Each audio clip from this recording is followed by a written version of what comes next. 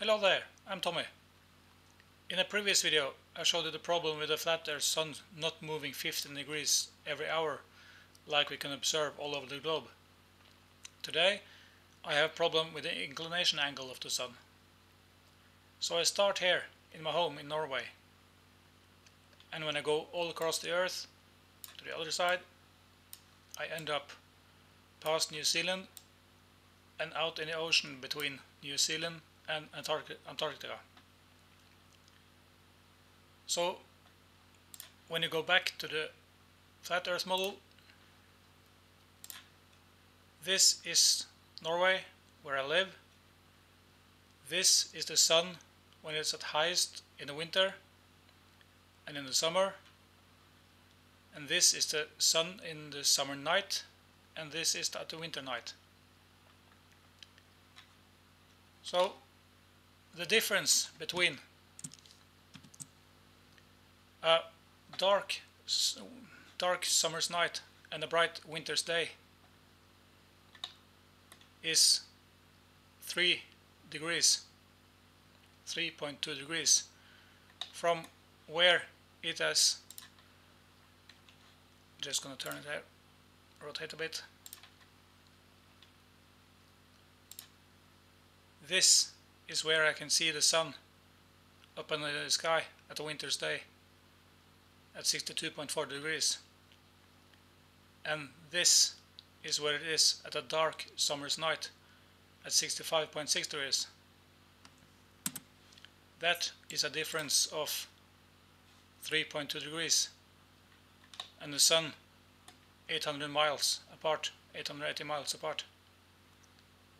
So the light from that sun has to be razor sharp because this is the difference between night and day.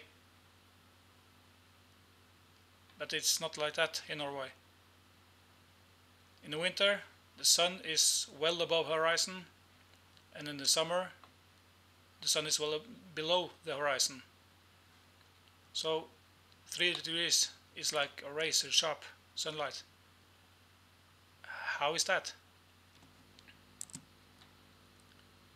And if we move down to New Zealand,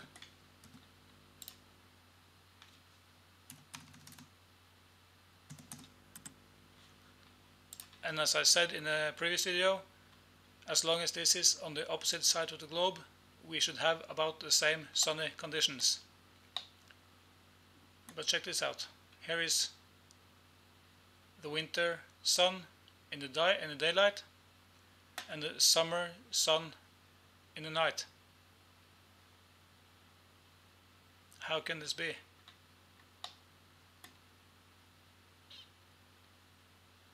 This is something else altogether.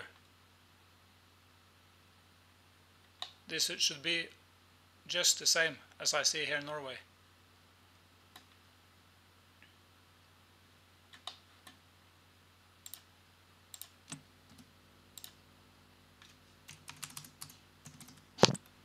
So these two models should be the same, but it isn't. And as I said before, something needs explaining.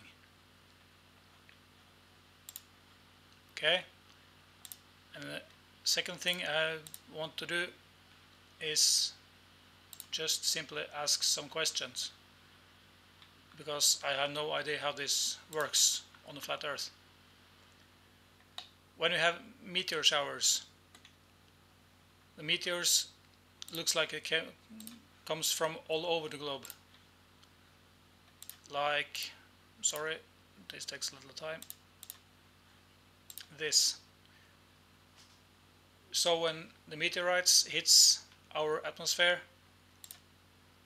they go from one point and all over the globe. It looks like it come, come from one point, but they spread out all over. So the thing I don't understand about the globe, now about the dome, sorry, but the dome is when meteorites come from outer space and hits the dome, what happens when hit it at this angle straight on? Is it a ding and then bounce off or what is it? And if they hit here, is this when they make those flaming tracks or what? Just what what happens when a meteorite hits the dome? Or do you do you don't have any meteorites on a flat Earth? And what happens if they have hit from another angle? From this side? Or this side? I can rotate it, but you know what I mean. This is just curiosity. What what happens in meteor showers? We have a couple or three of them quite large every year. The Leonids, uh, Perseids, yeah. So just curious what actually happens. Hmm? Bye.